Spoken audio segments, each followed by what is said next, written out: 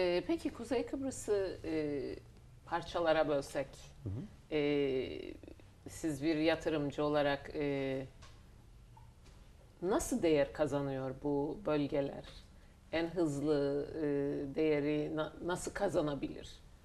Yani bunu nasıl değerlendirirsiniz? Müşterinize nasıl sunarsınız bunu? Yani üç, üç ayrı bölge şeklinde düşünebiliriz şu anda. Gerçi Güzel Yurt Lefke bölgesi e, altyapısı üniversitesiyle birlikte atılım yapıyor, gelişiyor.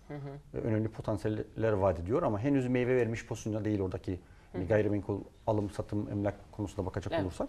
O bölge önümüzdeki dönemde pişmeye, gelişmeye aday. E, Girne, Lefkoşa, Mausa ve İskele bölgesi olarak değerlendirdiğimiz yani Mausa, İskele'yi bir bölge, Girne'yi bir bölge, Lefkoşa'yı bir bölge olarak değerlendirecek olursak e, bana göre adanın en güzel yeri Girne'dir. E, Mausa sahil boyu sahiliyle güzeldir. Ve ağırlıklı yabancı yatırımcıya yönelik şu anda. E, işte yabancılar gelip alıyorlar. E, kısa vadeli e, teknolojiden de yararlanarak kiralama olayıyla alakalı uzun vadede hem değeri artıyor hem kiralıyor şeklinde. Yani yerli yabancıya, yerli yatırımcıya değil de daha çok yabancıya yönelik Yabancıya. bir yatırım hamlesi var Mausa İskele bölgesinde.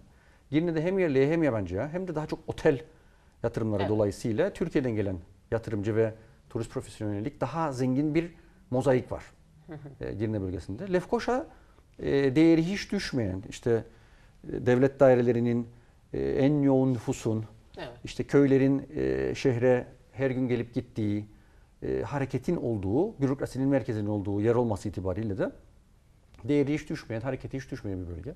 Daha farklı ayrıcalıkları şeyleri var. E, bana göre şu anda en ucuz Lefkoşa kalmış durumda.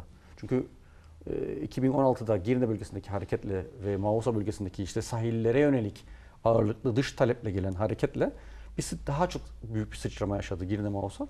Lefkoşa arkasından lokomotifin arkasından gelmeye devam ediyor. Devam ediyor. Evet.